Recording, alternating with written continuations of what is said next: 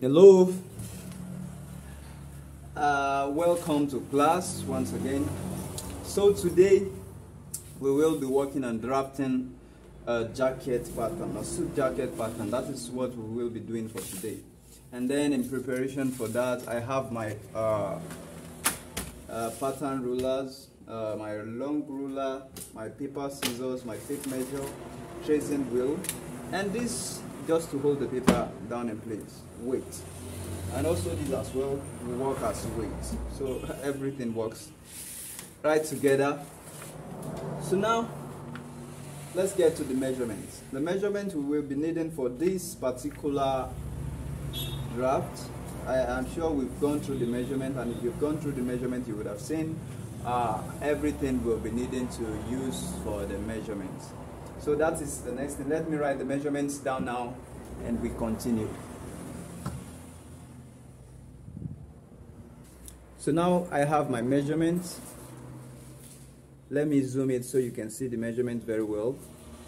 So I have the full length, the waist length, the chest circumference, the waist circumference, hip circumference, across back, across chest.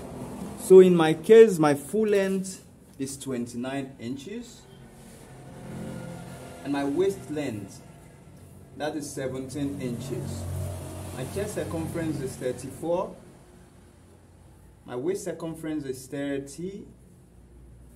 My hip circumference is 34 as well and my across back is 16 my cross chest is 15 and then the shoulder measurements across shoulder.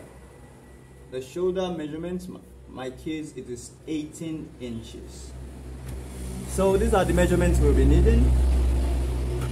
Once you write yours then let's get to class. Okay. So now that I have my measurements written down, so the first thing I'm going to be taking is my length.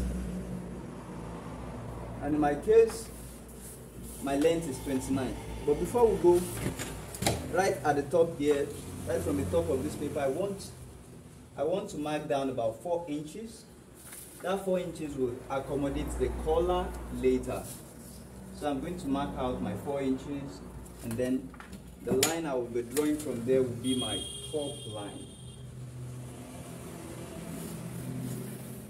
Okay. So this point will be my top line, my neckline. So now that I have this, from this point I'm going to be marking my 29 inches. So 29 in my case is here.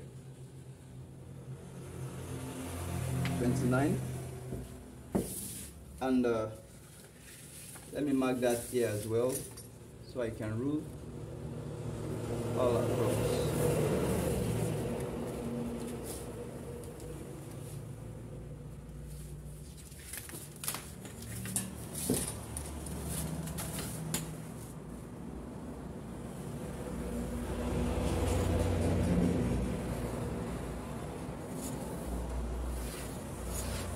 okay. Right here I have my length.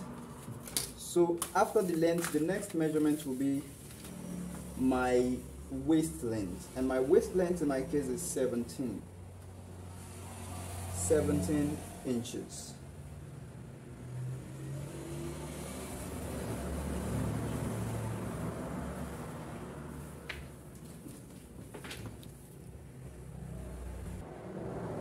So now I have my waist uh, from the top, my waist length.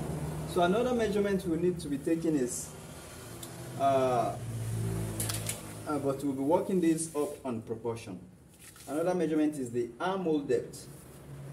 And in my case, I am 34, my chest, so you work on the proportion of chest measurement. So my chest measurement divided by 4. So that will give me 8.5 in my case. Just divided by 4, 34 divided by 4. That will give me 8.5. So, but because I need enough ease, just in case I may want to add uh, shoulder part. So I will be adding half of an inch to that and that will give me 9 inches for my armhole depth. So I'm going to mark that also and square it across my 9 inches. And square across.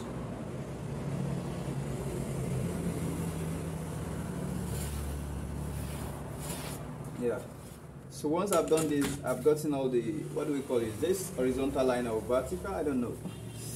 But we've gotten all these lines. Right here we have the top line which is the neckline the uh, chest line. This is also the chest line the armhole depth and it also fixes the chest line here we have it the waistline and right here there's the full length. And then another thing is we need the hip line actually. I'm not very sure if that should be a very very important measurement but it's still cool to have it. Uh, it should be about nine, 8 to 9 inches below your your waistline. So I'm going to make it 9 inches and I will fix my hip line. 9 inches below and I'll fix my hip line. So I'm going to have to rule that also across.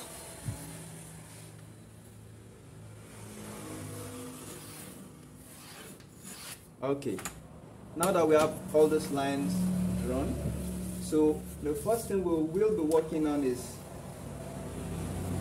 the neck uh, measurements the neck.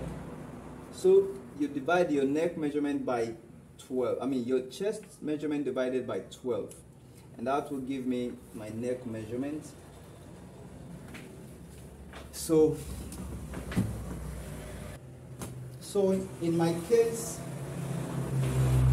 that will be about 2.8 or uh, something. So I'm going to be approximating that to 3 inches for the neckline. So what you do is you divide your chest measurement by 4.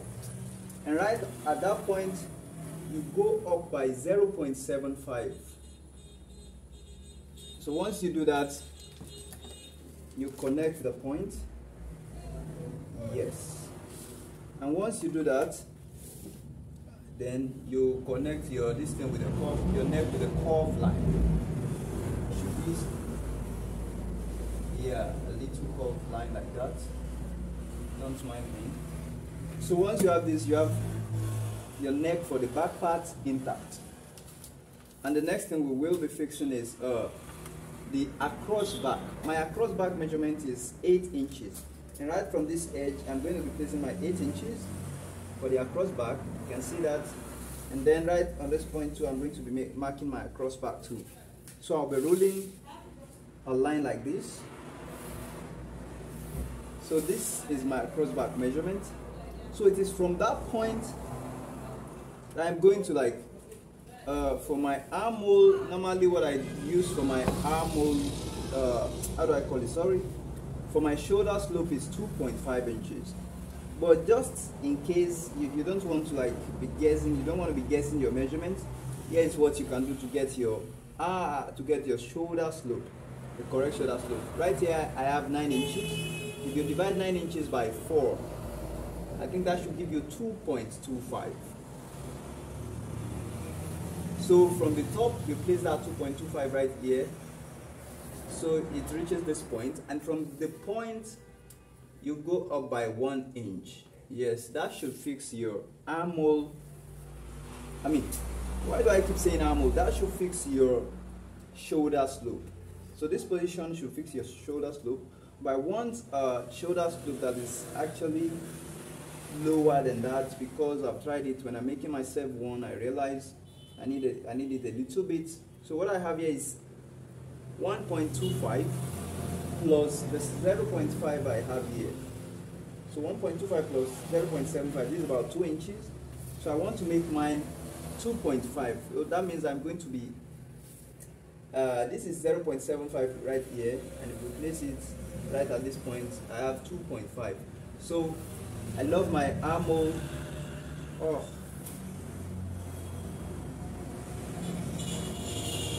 why do I keep saying armhole don't mind me. So I love my uh, shoulder slope. Right at 2.5 I'm sure you realize you know how I do this?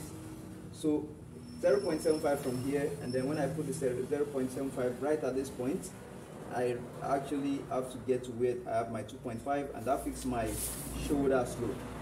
So I'm just going to be extending that line. So once I extend that line, it is on that line that I'm going to be placing my shoulder measurement. 18 in my case divided by 2. That fixes 9 for me. So I'm going to be placing my 9 inches here for my across shoulder. So and then from that point, I'll be connecting from this neck point to the shoulder point. So once I do this connection, I have my neck point and my shoulder point already done. So the next thing I'm going to then do is, this measurement is 9 inches, I'm going to have to divide that by 4 again, and I'll be having 2.25, so I'll be putting my 2.25 right here, you can see, and then extending that point by a quarter of an inch. So once I extend this point by a quarter of an inch,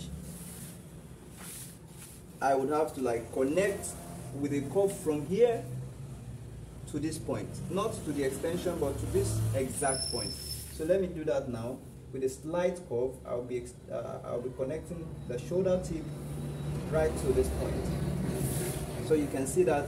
And after doing that, uh, my armhole is also almost fixed. Uh, my armhole line is almost fixed. So you have the neck, the shoulder, the armhole.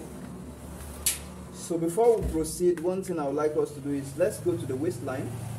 On your waistline, you may want to like, because our back, our center back is not really straight, it's actually a little bit bent inward. So to be on the safe side, if you are trying this for the first time, you may want to use four inch, I mean one inch. You go in by one inch from this point, it's always cool, but I've tried it with mine and 1.5 isn't a bad idea for me.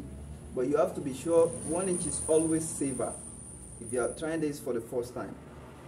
So I'm going to be using 1.5 right here. Or let me use one inch. Yeah, it's still cool if I use one inch. Let's use one inch to be on a safe side. So you go in by one inch right on at this point, and then you come back here and then mark half of your uh, armhole depth. This is 9 inches and half of that will be 4.5. So you want to connect with a curve from this 1 inch line to that point. You can see to the point you have half of your armhole depth points. So you, you do that connection. And once you do this connection, the same one inch you have right here, you put it right at the hip line and also at the hem line. So and then you connect those points with a straight line. But make sure this place should not be sharp. You have to like uh, through this point, you blend it so that you don't have that point sharp. It's not cool to be sharp. So and then right on this point, now you place your measurement of the your, yeah, the calculation you do for this point is your chest measurement, chest circumference divided by six. In my point, in my own, I think 34 divided by 6, that should be about 5.7 something, something, something. So I'm going to be approximating it and I'm going to be making it 6 inches. So this is 6 inches, right on the waistline, your chest circumference divided by 6. So that is the measurement you have right here. So from this point, you try and connect to this a quarter of an inch extension. So let me do that. You connect from this, this extension to your new, to the new point you have on the waist. So once you have that, that's almost fixed. And then the same measurement you have there, just add about half of an inch to it. Half of an inch to it. Uh, and you place it on your hip measurement and your distance. You place it right on your hip and the end line.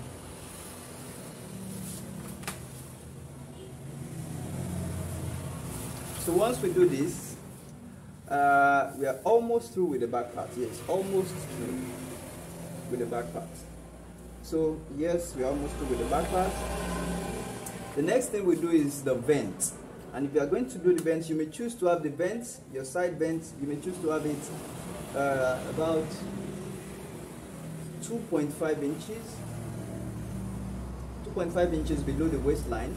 You may have it, if you have it at this center back, then your vent is going to be a single vent. But if you have it at this side, then your vent is going to be a double, double vent. So I want a double vent and I'm going to like make it 2.5 inches below the waistline. You extend the line you extend this line or we can do this later because I don't want it to affect other stuff we want to do so for now let's leave that let's say we've completed the back part just like this. So thank you for watching. The next thing we'll be doing is the front part